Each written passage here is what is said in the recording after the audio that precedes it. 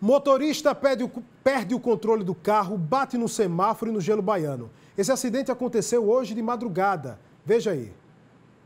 O motorista perdeu o controle do veículo quando seguia pela Avenida Norte, no sentido subúrbio-cidade, e bateu no semáforo. No impacto, o carro também atingiu um gelo baiano, que foi arremessado para o meio da pista do sentido contrário da avenida.